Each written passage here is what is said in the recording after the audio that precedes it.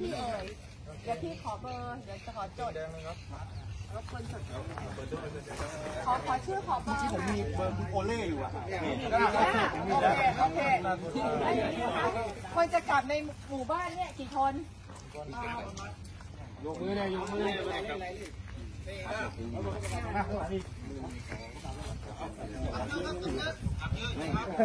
ทุกคนเลยวะครับเพื่อนไหนครับเนาะขอชี้แจงนะคะ วันที่ 18 เนี่ยที่กำลังที่ที่ได้ที่นั่งมา 80 ที่นั่งนะคะที่กำลังจะพยายามทำทำทำบุ๊กิ้งจองให้นะคะแต่ตอนนี้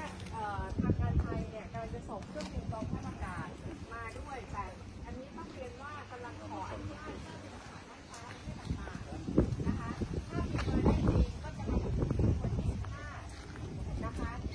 ทีนี้ค่ะ แค่ร้อยสี่สิบ ที่นั่งไม่ใช่เหรอครับร้อยสี่สิบที่นั่งค่ะ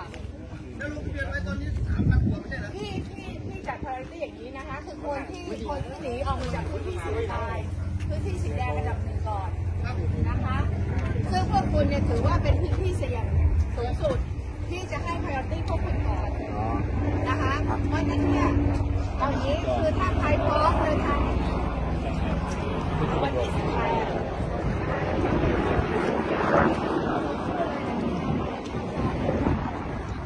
เดี๋ยวเดี๋ยวดูทำที่ต้องก่อน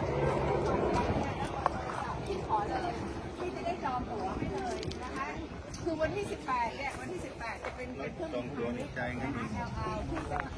เราก็จะได้จากรถมารับไปส่งนะคะกับอีกทางหนึ่งอีกอีกทางหนึงเนี่ยคือวันที่ 15 นะคะวันที่ 15 15 เดือนนี้คือคืออาจจะก่อนถ้าวงเล็บถ้าได้รับอนุญาตบางคนเขาไม่ได้เอา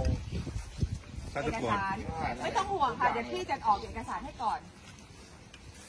ดี๋ยวจะทำเอกสารเดินทางให้ แล้วก็มันมีผิดอีกอย่างหนึงคือเรื่องเงิน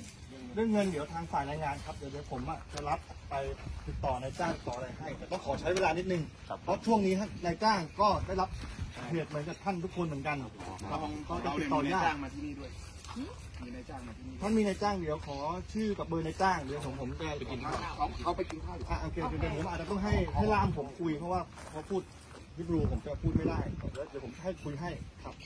นะ แต่ไม่ต้องห่วงนะคะรับรับรองว่าไม่ไม่ทอด